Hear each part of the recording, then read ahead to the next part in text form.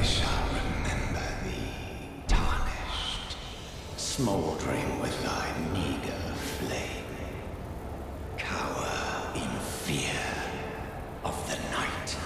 The hands of the fell omen shall brook thee no